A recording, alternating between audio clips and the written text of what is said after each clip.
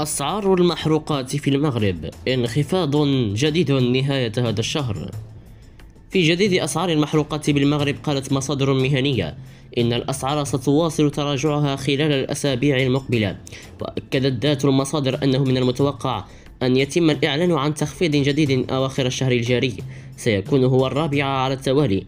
وفقا لذات المصادر فإنه إن استمرت أسعار النفط في الأسواق العالمية. تسير على نفس الوتيرة أي ما بين 90 و 100 دولار للبرميل. فإن قيمة انخفاض سعر لتر الغازوال والبنزين ستكون ضئيلة. قبل أن تشير المصادر أنه لن تتعدى على الأرجح 50 سنتيما في المرات المقبلة. وأشارت المصادر على أن البترول يجب أن يهوي إلى ما دون 70 دولار حتى تقل أسعار المحروقات بمحطات الوقود عن 11 درهما للتر الجدير بالذكر أن شركات التوزيع قامت بدءا من منتصف الليلة الماضية بمراجعة أسعارها حيث تم تسجيل انخفاض في ثمن البيع تراوح ما بين 0.60 ودرهم واحد.